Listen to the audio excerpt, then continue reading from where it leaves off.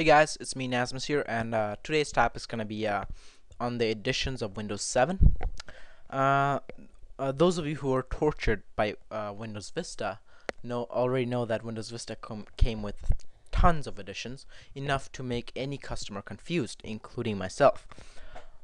Uh, Microsoft did this to because they believe that it'll help people ma ma make Windows affordable for people, so that by making them get only what they need. But the problem was, we didn't care about the additions. We just wanted to go to the store, get get purchase Windows, come back and install on a PC and get going with our life. We didn't want to. We didn't have the time to just stop and compare each and every edition and then buy the one we need. In fact, even if we did, we still kind of got confused.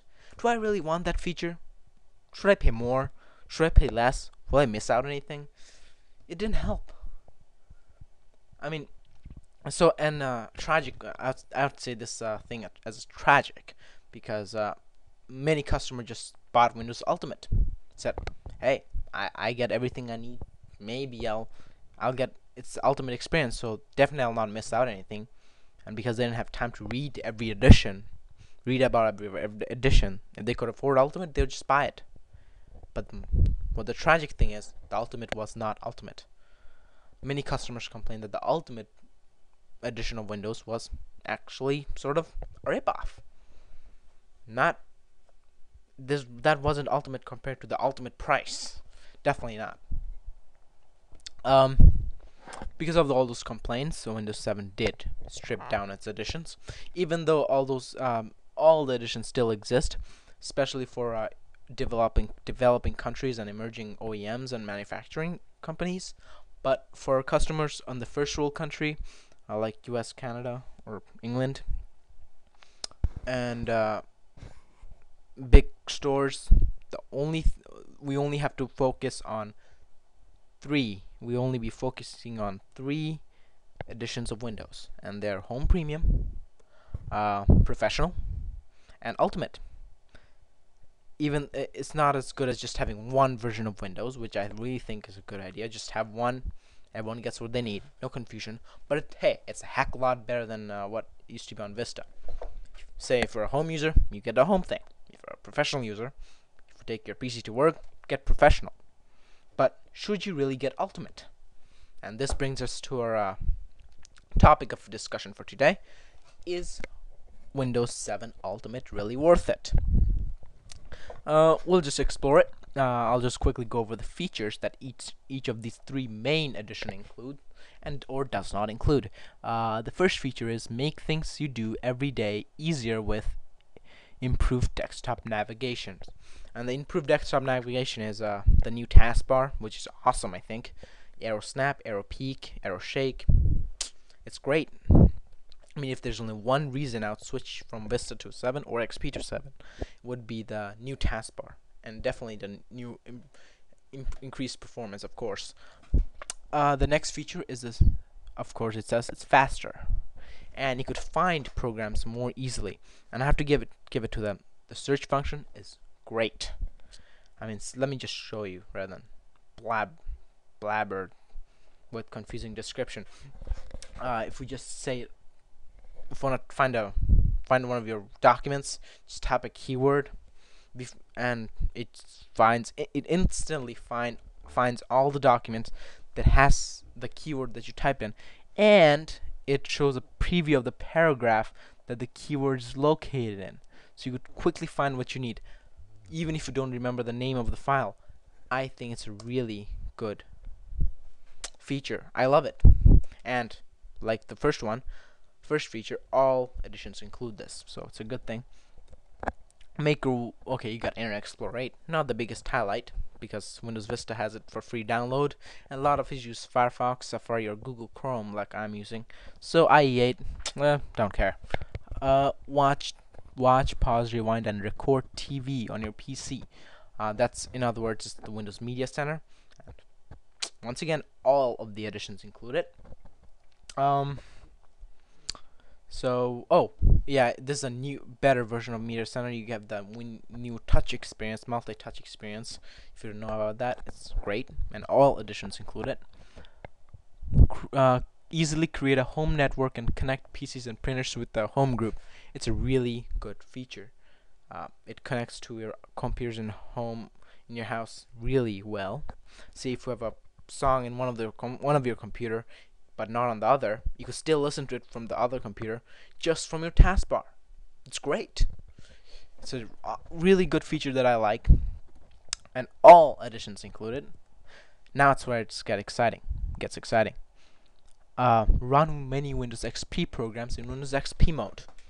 Say if I have a program that doesn't at all run on Windows 7, period, doesn't, just won't start, you can still run it because in uh, Windows 7 Professional or Ultimate, Windows XP Desktop is integrated with Windows 7 through virtual technology. So in other words, it's seamless. I'll show it to you. Here's Windows 7 Desktop. There's the desktop background. You have two windows. This is Win uh, Word 2007, and this is Word 2003 this is running in Windows XP. This this window where my cursor is at now is in Windows XP environment, completely 100% XP. You can just see by the looks of it. Uh, see the Aero glass, but here see the XP theme, the Luna theme. So, and even anything that works on XP, it's just XP. So you don't have to worry about compatibility issues. You could, if you love the operating system, you could even have the whole OS integrated to your desktop. The XP start button, it's great so if you're really into that stuff professional is the thing for you. You won't get that in home but so if you really rely on that on a program that run only on, runs only on XP this is the one for you. Uh, connect to company networks. For a home user you need this so it's a professional stuff. And ultimate of course. Recover your data easily. It's a good feature. Don't want to get stuff lost. Still available available in both professional ultimate. The last two features I have to talk about is uh, one of them is help your PC protect keep your PC protected from hackers using BitLocker. What BitLocker is uh, actually an inscription tool uh, that encrypts your entire hard drive. So any suspicious activities go going on from hackers, I guess, Windows will uh, recognize it and prevent uh, and just block your hard drive and you can only access with the password that you created. So really security tool that is only important for big enterprises. We home users don't need it and it's only available on the ultimate. And the last feature switch between 35 languages. Interesting but my question to you is are you going to do use this feature at all? Most of you you? I mean, most of us will buy Windows in one language and keep it at that language, unless one of our family, our family members have different languages and they need to switch different between uses. But for most of us, we just use our computer in one language. So this last feature is useless for most of the users. In fact, just look at the Ultimate. Comparing to the other versions, the Ultimate has on only two features extra. Here's my question. Are you going to pay more just for two features? One of them only good for big businesses and the other is only useful to few people. People that are really rely on switching between languages. Two features, not always useful. That's the ultimate my opinion, it's not worth it. Definitely not worth the price.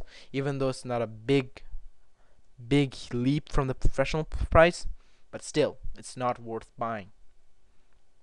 If you want a lot of cool stuff from Windows 7, professional is the way to go. Even if one, even home is good experience, you'll love using Windows 7, even in home premium, because it has a lot of great features. XP mode, excellent feature. If you're into that, professional the thing for you. But ultimate, no. I don't recommend it. It's but tell what, final decision is up to you. But me, no. Windows 7 Ultimate, rip off.